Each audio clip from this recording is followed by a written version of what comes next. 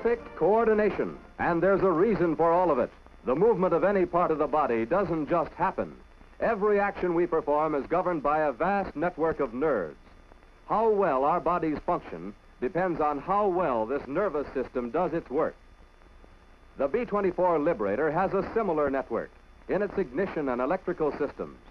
How well each part of the B-24 functions depends on how well the ignition and electrical system does its work. To make sure that it does work perfectly, it is inspected thoroughly after every 50 hours of flight.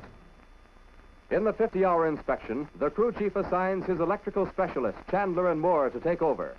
Training has taught them to work quickly and surely, with all senses alert to detect anything wrong. Let's see how they go about it.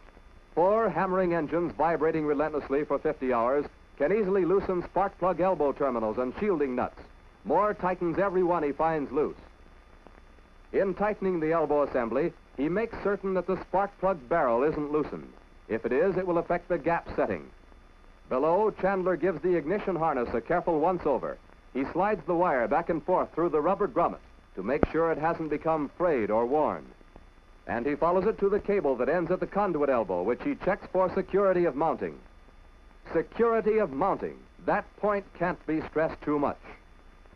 After inspecting all the wire in the harness, Chandler checks the magneto to be sure it's on tight and that the flange is firmly attached.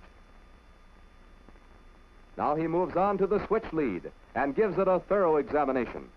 If it comes loose here, the engine will cut out. If it breaks, the engines can't be cut. So Chandler makes sure that it's on good and tight, all set for another 50 hours. In the meantime, Moore removes the cover from the booster coil and checks inside to make sure everything is shipshape there. Okay. While he goes to replace the cover, Chandler signals for an operation test on the cowl flaps. Cowl flap switch closed. And the cowl flaps close smoothly, as they should. And they open just as smoothly. All in good order, so he gives the okay. Under the crew chief's eagle eye, Moore commences the electrical inspection by noting the operation of the battery disconnect relay. While the man in the cockpit cooperates at the battery switches. Finding everything in perfect order, Moore signals the cockpit and replaces the canvas covering.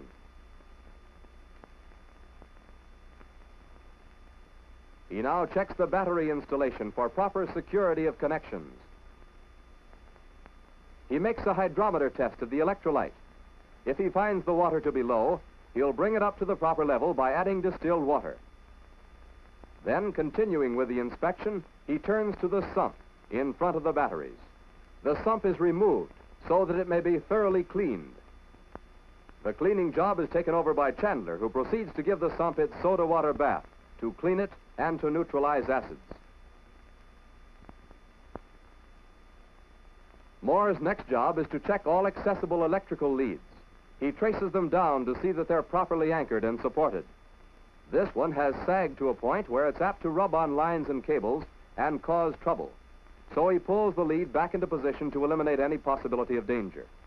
Now back outside to Chandler for a check on the landing light. A signal to the cockpit, and down it comes. He watches to see that it extends properly all the way. No halfway measures here any more than in the rest of the 50-hour inspection. It should go on at the right time, and if it doesn't, it's fixed on the spot. The switch is thrown to retract the light. And after checking to make certain that the light goes out again and then retracts to settle properly into its original position, Chandler once more gives the okay. In the cockpit, Moore throws the switch for the intercooler shutters, which are checked below for proper operation.